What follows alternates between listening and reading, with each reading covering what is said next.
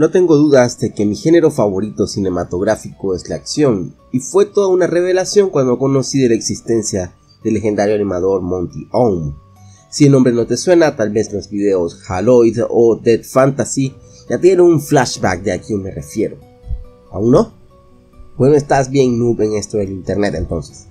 La cuestión es que este señor él mismo modelaba, animaba y coreografiaba todas las escenas de sus mini videos de acción, los cuales son por demás decir de una increíble calidad y si esto lo hacía en sus tiempos libres y con un presupuesto nulo, no nos podríamos imaginar qué pasaría si le dieran todas las herramientas para crear algo propio. Y así fue como años después y tras todo el reconocimiento que se ganó, la productora Roster Teeth le ha dado la oportunidad de hacer su sueño de crear su propia serie.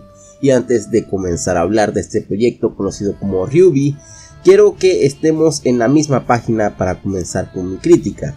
El estilo de Monty para mí es único, a diferencia de las escenas hollywoodenses que mal han acostumbrado al espectador, con sus cámaras temblorosas mal coreografiadas en situaciones a las cuales no les encuentras ni pie ni cabeza y hace que te pierdas la emoción de las peleas.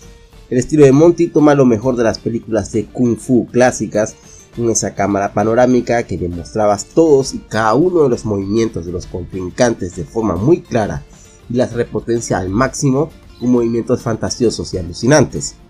Si bien en su estilo también existe eso de que la cámara tome ángulos muy cercanos o de primera perspectiva, Monty trata de que la acción se mantenga constante y se visualice claramente, que el espectador no se engañe con tomas falsas y confusas y disfrute simple y llanamente de la adrenalina que los personajes con sus movimientos transmiten en la pantalla.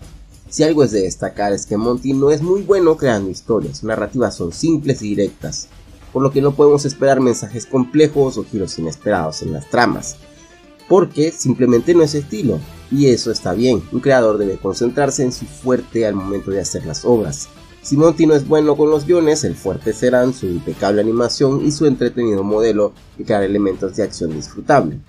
Esto lo transmite a la perfección con Ruby.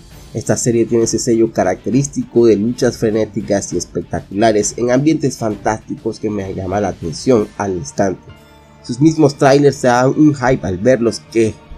Uff, qué cosa, no, no había visto algo similar en otras producciones. Actualmente ya cuenta con 5 temporadas, y haciendo memoria, recuerdo que la primera temporada de Ruby se anunció con bombos y platillos, pero era notable que contaba con un pequeño presupuesto y poca mano de obra para su producción, por lo que muchísimos detalles quedaron muy por debajo del nivel de calidad que se esperaba. Pero los momentos de acción, al menos para mí, no defraudaron en absoluto. Hablando de la trama, es bastante sencilla. En este mundo hay criaturas malignas, que se dedican a cazar humanos, por lo que la humanidad se ha refugiado en comunidades que son protegidas por los cazadores, luchadores altamente capacitados, los cuales se entrenan en academias especializadas para formarlos. Nuestras protagonistas son recién ingresadas de la Academia Bacon, y en la serie nos narran sus aventuras mientras vamos conociendo más de este mundo. ¿Ven? Sencillo. Pero los personajes son carismáticos, la narrativa tiene buen ritmo no aburre el verla, por lo que será de lo más cliché pero eficaz en mantener al espectador con ánimos de seguir viéndolo. Esta primera temporada era el arranque, algo así como ver si el proyecto iba a valer la pena para los productores. Y acepto que fue muy cutre pero con mucho potencial. Era como esos juegos en Steam que tienes una primicia llamativa y necesitaba el apoyo de la comunidad para que se haga conocer y se haga de un nombre para poder conseguir más presupuesto y mejorar la calidad del proyecto y asimismo Ruby en su segunda temporada cuidó mucho mejor los escenarios, se pulieron bastante las expresiones faciales los modelos, incluso la historia mejoró, al ser más expansiva, tener una evolución de los personajes que hacía querer conocer más de ellos, aun cuando no tuviera que ver con la historia principal, y por supuesto, las luchas alcanzaban un nuevo nivel de epicidad. Entonces si todo estaba viento en popa, la serie cada vez mejoraba más, porque es que toda la comunidad que apreciaba tanto esta serie le ha dado la espalda critica prácticamente todo de Ruby. Bueno, es difícil de saber con certeza qué ha pasado, pero sin duda todo comienza con la tercera temporada. Un suceso fuera de la serie en sí, que cambió definitivamente el rumbo que llevaba Ruby fue el fallecimiento de su creador. Monty lamentablemente sufrió una infección alérgica que lo dejó en coma, y finalmente lo llevó a su muerte. Que en paz descanse este gran animador, que ha sido fuente de inspiración para muchos. Pero entonces la tercera temporada aún había sido trabajada por Monty y podemos llamarle la cumbre de la carrera de esta microserie. La cuestión es que su final era el punto y aparte de lo que podíamos esperar en el futuro. Con la destrucción de la academia en donde se desarrollaba mayormente la trama, la historia se expandía a ser algo que abarcara globalmente este mundo, introduciendo una gran cantidad de lore que hasta entonces se nos era desconocido y dándonos a conocer toda una horda de villanos y planes secretos que se habían resguardado y se conocían solo como leyendas y mitos. Esto les empieza a sonar como una narrativa más compleja, ¿no? Y es que pasábamos una historia de aventuras de acción en un ambiente escolar a salvar el mundo de su inevitable destrucción casi de la nada y metiéndote mucha información que ya después de más de 30 episodios al menos te hubieran dado pista de que algo así iba a existir. Pero no, decidieron lanzarte toda la sopa en un solo capítulo y a ver si le entiendes y te parece, porque así es como va a seguir y ya está. Ok, digamos que está bien, ya se hizo. Pues esperamos que lo que sigue vaya bien, ¿no? No es primera vez que una franquicia trata de darse un giro de 180 grados y probar cosas diferentes. Esto no siempre es algo malo, pero Ruby lo hizo todo muy mal. Comencemos con cómo se aborda la historia. Anteriormente todo era bastante lineal, hay una trama principal, de vez en cuando nos enfocamos un ratito en las dificultades de uno que otro personaje, siempre mientras seguimos abordando la historia general que se nos presenta. Todo va bien fluido y ordenado.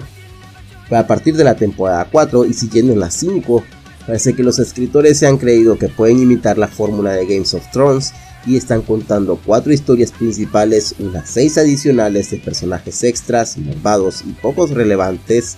Y todo está mientras hay algo así como elementos de la historia ocultos que de vez en cuando te los lanzan en unas animaciones a lo cuento de hadas. Esto es una miniserie que cada capítulo dura entre 5 y 20 minutos como máximo, en temporadas de 14 episodios.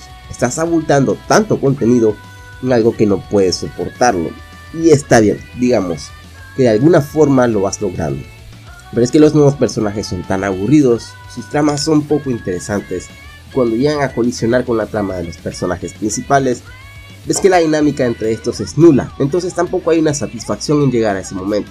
Si Games of Thrones funciona, es porque cada nuevo personaje pareciera que ni va a ser importante tener relación en la trama, pero que poco a poco se va ganando su lugar en el público. Quien no creía que Brian of iba a ser una extra cualquiera y ahora díganme si es que lo disfrutan con sus arcos argumentales. Además de esto, Ruby se esfuerzan demasiado en añadir un tipo de sensación de que algo grande va a ocurrir, pero cuando llega a hacerlo en una escala tan pequeña y poco importante que termina siendo cuestión de risas. Un ejemplo de eso es la organización White Fang. En este hay un grupo, algo así como de terroristas revolucionarios, compuesta de una especie de humanos con características de animales en su cuerpo, por lo que son menospreciados con racismo y apartados de los demás humanos.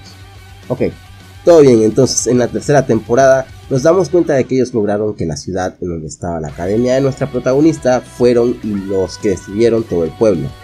Entonces suena que son algo así como pesos pesados en este mundo, sin embargo, y reutilizando la misma trama, en la temporada 5 esta misma organización intenta hacer la misma fechoría pero es que además del líder solo hay como 10 o 20 miembros como máximo en este plan. Y la idea era robar una rélica que protege este pueblo y detonar unas cuantas bombitas. Pero de nuevo en pantalla vemos máximo que son como 20 personas para toda una ciudad. ¿Cuántas personas viven aquí? ¿Unas 100 acaso? O sea, no me, no me presentan cuál es la verdadera amenaza que quieren transmitir y por ende no hay ni suspenso esa sensación de expectativa y solo terminas viendo lo que va ocurriendo solo porque sí. El gran problema es que los personajes ya ni son carismáticos ni interesantes. Tal vez el ejemplo más claro es Ruby, su protagonista. Cuando el protagonista es poco interesante, eso dice mucho de la serie. Veamos, Ruby es como que hayas fusionado a Naruto y a Luffy y le pongas un vestido rojo. Esa es la Ruby por lo que hace llamativa su historia, pero lo más importante es que es una niña a la que desde el comienzo le ponen muchos pesos encima, forzándola a madurar tanto como persona, así como líder del grupo que le es asignado en la academia. Ruby es propensa a fallar, cometer errores, pero de alguna forma logra aprender de ellos y vemos cómo su personaje evoluciona en la trama, conociendo aspectos nuevos de su persona. Al llegar al volumen 4 y 5, Ruby es el personaje que te completa las frases o te habla para afirmar y negar las cosas. En serio, todos sus diálogos vienen a ser respuestas obvias de lo que le preguntan y ella haciendo un chiste, ella dando clases de motivación con cosas más clichés del universo y es hastiante cuando un personaje es tan estático que ya sabes que así como comenzó una historia, así pareciera que va a terminar, sin hacer o decir nada importante ni sustancial, por lo cual podamos recordarla como un buen personaje.